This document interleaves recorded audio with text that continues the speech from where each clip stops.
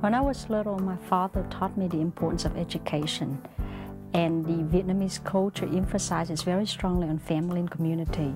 So as a result, it's very natural for me to balance three aspects of my life, family, commitment to community, as well as opportunity to advance in my job at Texas Instrument, a very nurturing company.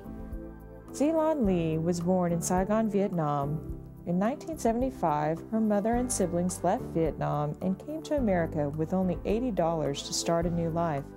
Though she spoke no English when she arrived, just four years later, Duy-Loan graduated valedictorian of her high school class at the age of 16.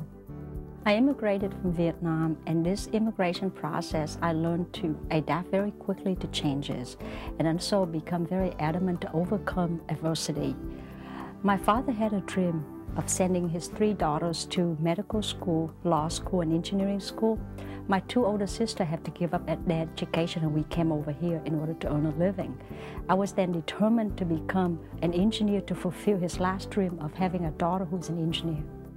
By the age of 19, Duy-Loan had graduated magna cum laude from the University of Texas in Austin with her BS in electrical engineering, followed by an MBA from the University of Houston.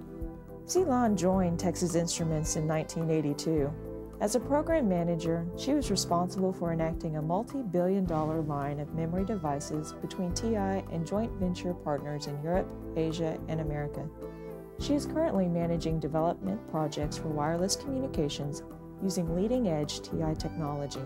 Duy-Loan was elected a senior member of the technical staff in 1993 and was the first woman at TI to be elected distinguished member in 1997 and TI fellow in 1999.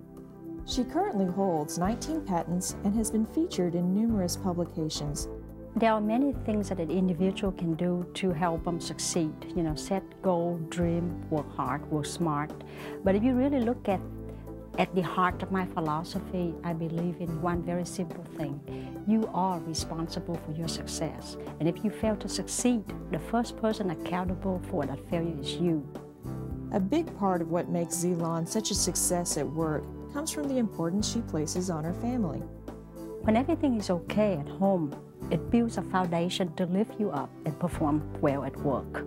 So taking care of your family is not only performing your responsibility as parents, but also it's like taking preventive medication for your career.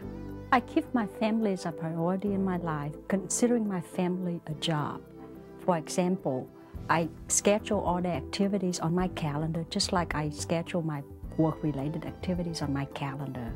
Second thing is I prioritize on a daily basis whether an event at school is more important than a business meeting or a trip that I have to take.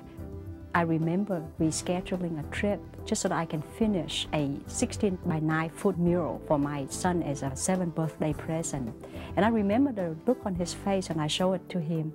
He, he looked at it and then he went over and he kissed every animal on the mural and then he turned around he said, Mom, you love Dan too much. Giving back to the community is also important to Duy-Loan.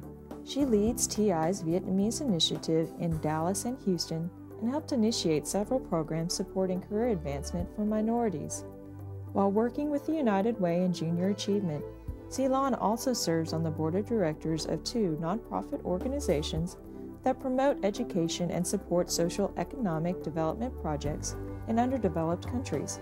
Serving your community and giving back to your society help makes you a better person for several reasons. Number one, I believe that wisdom is not something that you can obtain by finishing another degree or by solving a technical challenge or inventing something that is patentable. Instead, wisdom is something that you get by working with people from all walks of life.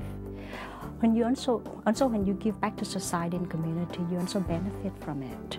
You enhance your sphere of influence and you form new vision by interacting with new circumstances. So giving back to society and community benefits. But if it's for no other reason, it is the right thing to do, and doing the right thing is never wrong. Success definition is a personal thing. I define success by being very happy doing what I do best. For me, it means having a very strong, happy family, being able to give back to community, and advance in my career as fast as I can. Overall, I'm pleased with the progress, but I need to keep an eye on it and make sure that I continue to balance this, this delicate, uh, these delicate areas and make sure that I have fun and do it with all of my passion.